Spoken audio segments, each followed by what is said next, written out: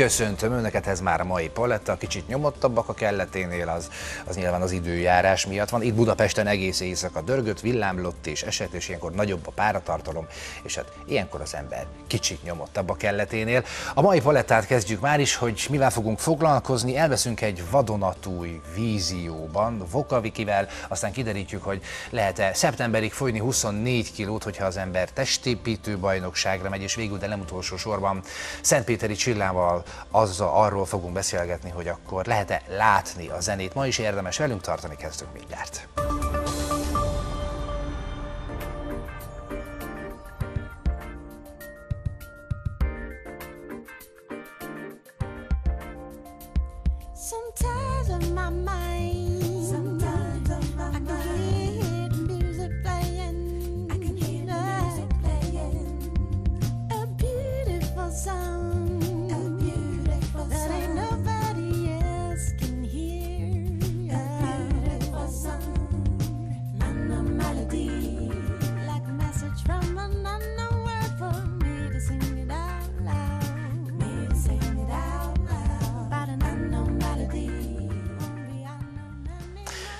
Milyen fülbe mászó hang? Tehát, hogy gyárilag ez jön egyébként belőled, vagy kicsit ilyenkor ráteszel, hogy akkor Persze, hát az ember, amikor keresi így a hangját, elkezd énekelni, akkor kísérletezik többféle hangzással, és amikor, amikor úgy érzed, hogy igazán kényelmesen érzed magad benne, akkor találtad meg szerintem. ez azt jelenti, hogy az elmúlt sok-sok évben, amióta te ezzel foglalkozol, hogy énekelsz, voltak különböző hangfekvések és hangszínek, amikben már énekeltél? Nem, nem, ezt azért lezongoráztam gyerekkoromban nagyjából.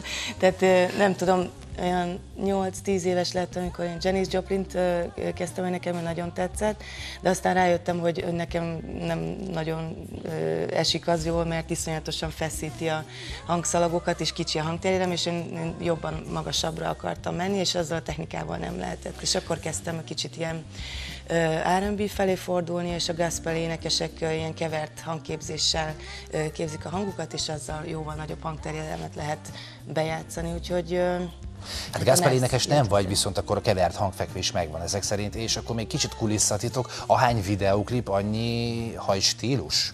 Ja, hát az, hogy a, a hajam színe változik, meg bármi ö, körülöttem rajtam, az, az teljesen természetes. Szeretem a sokszínűséget, ez mind én vagyok igazából. Mondják sokan, hogy, hogy nem találom magam, keresem magam, stb., de ez nem így van, mindegyikben így tök jól érzem magam. És mindegyik, mindegyik te vagy ezek szerint. Igen. Szóval megszületett az imáron négyes számú szerzői albumból, Igen, vagyis hát igen. a negyedik. Brand New Vision, ez Igen. neki ugye a címe, mit tudjunk róla? Hát azt tudjuk róla, hogy én tavaly évvége felé így már tervezgettem, hogy előrukkolok egy új lemezanyaggal, mert szerettem volna kicsit ezt a, a launch vonalat nem csak koncerten, de, de lemez formájában is megmutatni.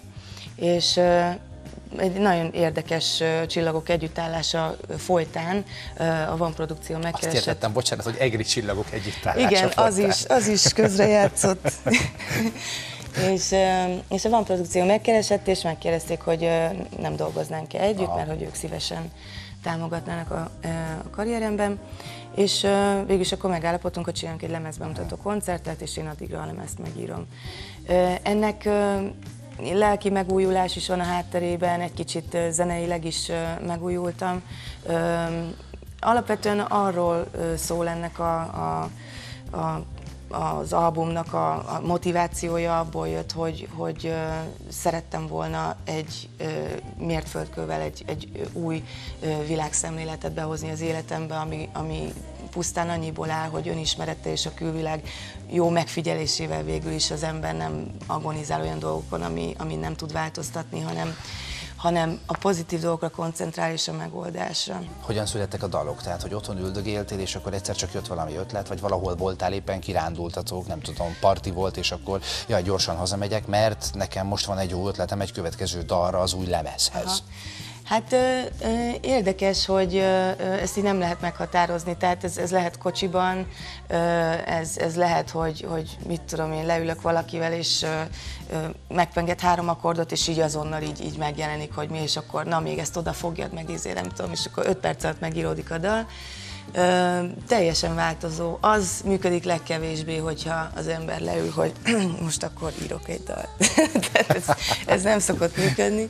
Az első osztályban van, hogy akkor Igen, tanítónének igen. tisztelettel jelentem, hogy akkor itt vagyok. Igen, ez, ez, ez sajnos ez nem így működik, de, de hála Istennek, és különösen azóta, hogy így, így tényleg tényleg megpróbálom a, a dolgoknak a jó oldalát ö, figyelni, meg örülni a legapróbb dolgoknak. Ez valahogy úgy, úgy le ö, ö, rombolt olyan gátakat, amik, amik nyilván a kreativitást is gátolják, úgyhogy hogy dől belőlem a, a, a, az új, dőlnek belőlem az új dalok, úgyhogy szerintem ez működik. Szóval akkor hétvégén lemezbemutató, és akkor az új Szombaton. lemezanyagát eltolod, és gondolom Igen. lesznek más jellegű dalok is. Ö, igen, a régebbiekből is egy-kettőt el fogunk játszani, lesz egy akusztikus blokk, illetve élő hangszeres ö, ö, produkció, lesz keverve, ez egy ilyen hibrid koncert lesz úgymond, ö, ö, mert ö, egyrészt DJ-vel fogjuk az alapokat ö, játszani, arra játszanak rá a, a hangszeres zenészek, és ö, a dalok között pedig improvizáció lesz, a DJ fog egy atmoszférát adni, illetve a zenészek is, meg mi énekesek hárman, mert két vokalista lányjal dolgozom, fogunk rá improvizálni. Hát akkor zengjen a hangot szombaton. Köszönöm szépen, hogy jöttél. Kellemes Én további köszönöm. szép napot neked, jó hetet. Hello.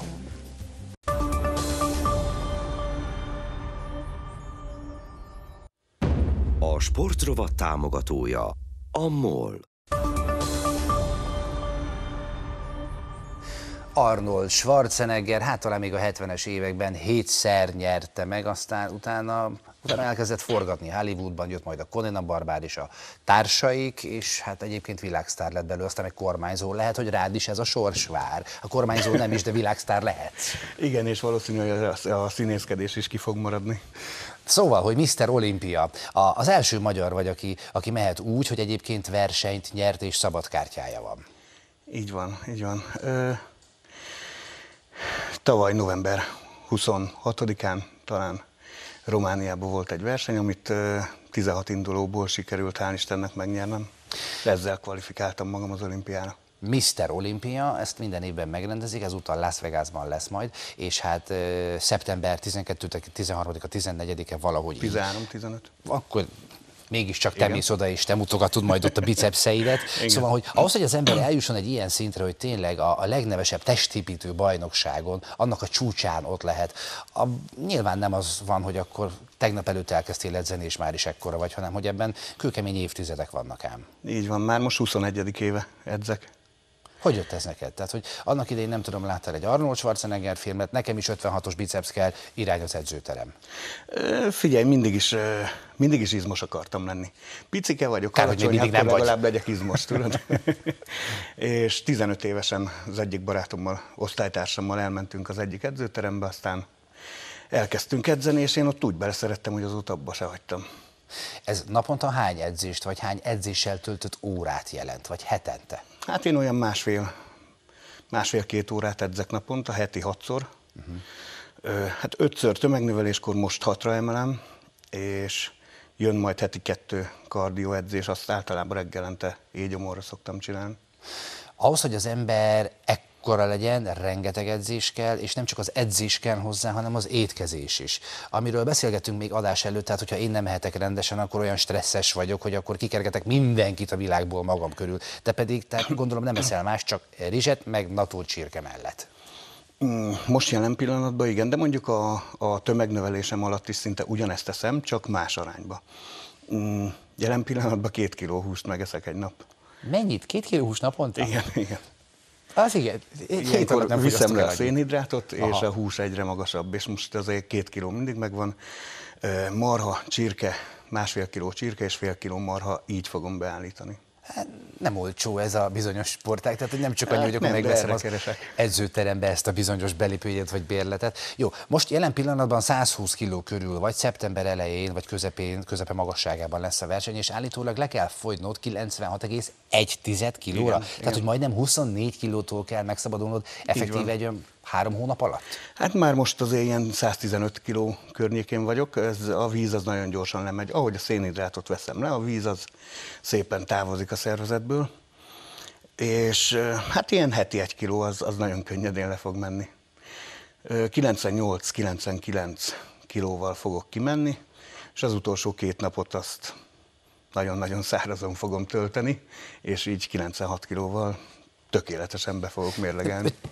Most az a helyzet, hogy itt vagyunk május, nem tudom, 20 a magasságában egyébként, és az van, hogy, tehát, hogy nagyon sokan áhítozunk az irányban, hogy nem tudom, két héten belül legalább három kilótól sikerüljön megszabadulni, hogy akkor, ha kimegyünk a strandra, akkor valahogy nézzünk ki. Te meg egy nap alatt három kilót így ledobsz?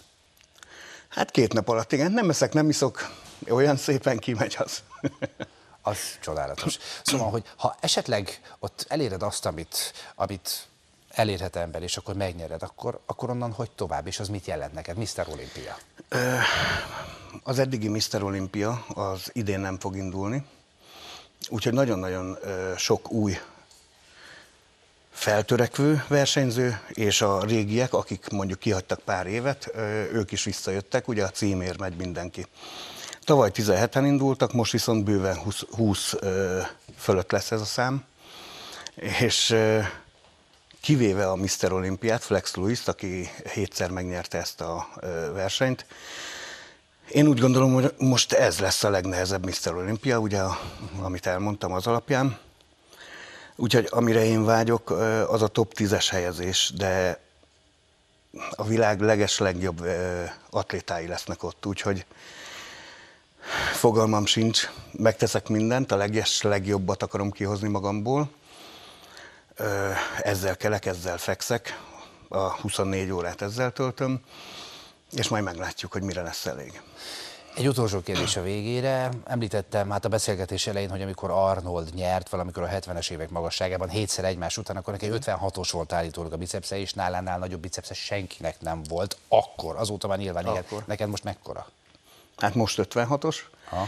legnagyobb, amikor jó dagi voltam, 120 kiló fölött bőven, akkor 58 és fél centire durrant. Muti már. Az volt a legnagyobb. Szabad? Hát itt pulóverben nem látszik. Azt a mindenit. Hát a combom nincs olyan vastag, ne viccelj már. Szóval, hogy akkor előre legyél Mr. Olympia, vagy legyél benne a legjobb tízben, de nyilván nyernek. Köszönöm szépen, hogy jöttél, és akkor köszönöm. a fogyáshoz. Hello. Köszönöm szépen, sziasztok!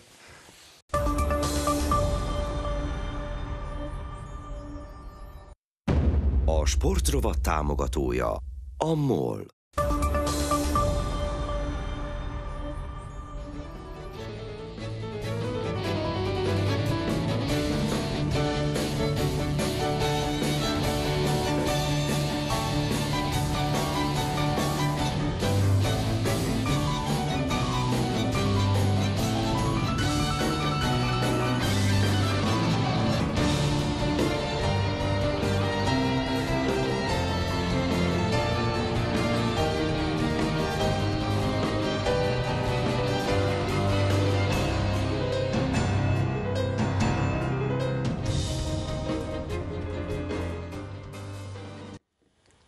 Nekem az mindig nagyon tetszik, amikor egy zongoraművészt látok, és hát nem csak ül a zongoránál, hanem, hanem úgy felső testből még dolgozik rajta egy kicsit. Szerintem annak úgy külön jelentése van, és hát te folyamatosan ezt csinálod. Ez a bizonyos koncert, amit látszunk, ez már nem egy új koncert, ilyen hasonló, nagymérvű, látványos, gigantikus koncert lesz valamikor a közeli, vagy a kicsit távolabbi jövőben. Hú, de jó, hogy ezt megkérdezted, mert hogy éppen idén visszatérek a kongresszusi központba, és december 29-én egy nagyszabású évzáró eh, látványkoncertet fogok adni zenésztársaimmal, úgyhogy, úgyhogy igen, ez, ez egyébként azt hiszem, hogy a 2014-es koncertünknek volt a felvétele, ami szintén nagyon jól sikerült. Már öt évvel ezelőtt volt akárhogy számolom. Hú, tényleg, hát azóta azért volt már Persze. nagy koncertünk, csak ahol ezeken a LED falakon rendkívül kreatív vizualizációk és nagyon izgalmas, látványos kisfilmek futkároztak. Talán 2017. január 1-én volt a Hát az is két évvel ezelőtt volt, úgyhogy itt az ideje, Itt hogy az legyen ideje, valami nagy. az Na de hát ideje. ez még a távolabbi jövő, ez majd decemberben lesz, viszont most, tehát hogy 22-én, ha minden igaz, Kecskeméten a híres Agóra, egy híres Agóra kulturális központban az lesz, hogy lehet majd látni a zenét, pontosabban hát grammatikailag ezt kérdésként kell föltenni. Láttad-e már a zenét? Mit tudjunk erről a programról? Hozzád kötődik. Hát ugye most itt két programot mondtál, mert Kecskeméten egy, egy koncertünk lesz május 22-én, ahol a szülészet javára történik ez a koncert, illetve hát most idén 2019-ben megkapta a Bács-Kiskun megyei kórház Kecskeméti szülészete a Családbarát díjat, Családbarát 2019, és ennek tiszteletére a kórház az ott dolgozók, a szülésznők és az ápolónők az édesanyáknak szeretnének kedveskedni egy ilyen koncerttel, ahol jó magam a zenésztársaimmal, valamint Szekeres Adrien énekesnővel lesz ez a koncertünk. Ez egy ilyen jótékonysági, vagy majdnem jótékonysági koncert, ez az egyik része, ami lesz. Tehát a kórházban, a Kecskeméti kórházban. Ez a Kecskeméti, de Igen. a másik A projekt... másik pedig ugye az a láttad-e már a zenét? Ez ugye em, 2015-ben indítottam útjára, látta de már a zenét, ifjúsági, interaktív látvány koncertsorozatot.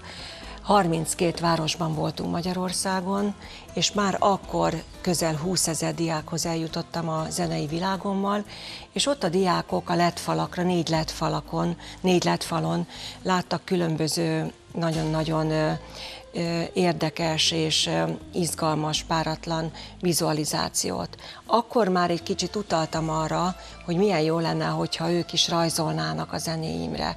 És tulajdonképpen a 32 koncert után jött az az ötlet, hogy Makón szülővárosomban, Nadobán Zsuzsanna tanítónővel indítsunk el egy olyan programot, mely keret, tehát a tantervek keretén belül ő az óráin rajzol az én zenémre. Itt volt környezetvédelemről szó, volt magyar nyelv és irodalom, tehát hogy a zenéimre mondjuk kis drámákat, kis novellákat írtak a diákok, vagy éppen tánckoreográfiát készítettek, valamint rajzoltak. Ez úgy történik, hogy egyébként az órán, nem tudom, egy magnóból szól éppen, egy Szentpéteri csilla szerzemény, és akkor közben rajzolnak, vagy írnak valamit a gyerkőcök, vagy már korábban megnézték a koncertet, és akkor elevenítsék fel, itt van 45 perc, és akkor lehet rajzolni, vagy lehet írni egy akármilyen fogalmazást. Voltak olyanok, akik a koncertek után küldték el a rajzokat, de akkor még ugye nem volt verseny. Aztán itt eh, Makón, amikor megcsináltuk ezt a projektet, akkor először én ott élőben megmutattam a zenéket, aztán visszautaztam Budapestre, és a diákok ott rajzoltak éppen, ami megérintette őket azokra a zenékre. Most viszont eh, ugye tavaly indítottuk el ezt a Csongrád megyei rajzversenyt, ahol konkrétan meg volt határozva, hogy mely művekre kell nekik rajzolniuk. Tehát, hogy, hogy 6-tól 14 éves korig volt még tavaly ez a Látta de már a zenét verseny, Csongrád megyében, idén, pedig most vagyunk túl a zsűrizésen. Most már 6-tól 18 éves korig van ez a korosztály, és most a tavalyitól kicsit eltértünk, mert nem csak kinyitottuk a korosztályt, hanem kategóriákat is írtam. Tehát például volt mese kategória, volt környezetvédelem, volt március 15-e, mint ugye nagyon kiemelt magyar ünnepünk, a forradalom ünnepe. Volt víz alatt titokzatos mélység, felhők fölött, volt a legjobb napom, legszebb napom, legboldogabb napom, volt a hit, szeretet, család kategória, és volt a nyári vakáció, valamint az esőerdő, mint környezetvédelem és a víz fogyasztása. Ezek, ezeket a műveket elküldtem, tehát minden kategóriába beillesztettünk két-három művemet, vagy saját szerzemény volt, vagy klasszikus zenei átiratom, és márciustól május 12-ig kellett rajzokat készíteni, és ezeket elküldeni Makóra, hiszen az a bázis, és megtörtént két nappal ezelőtt, pénteken, illetve már három nappal ezelőtt, egy ötfős zsűri bírálta el, én voltam a zsűri elnök, és mi bíráltuk el az 583 beérkezett rajzot. Az Őrület mennyiség. Rengeteg.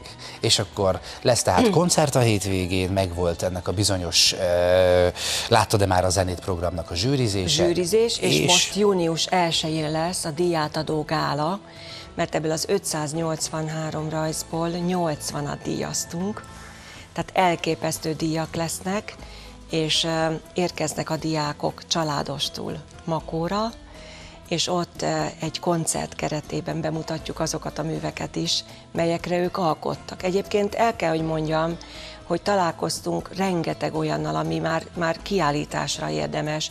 Tehát annyira megnyitja a diákoknak a fantázia világát, a képzelő erejét, a belső lelki világukat le tudják rajzolni. Egyébként én mindegyik műhöz írtam három-négy mondatot segítségképpen, hogy amikor én írtam ezeket a műveket, mit éreztem írás közben.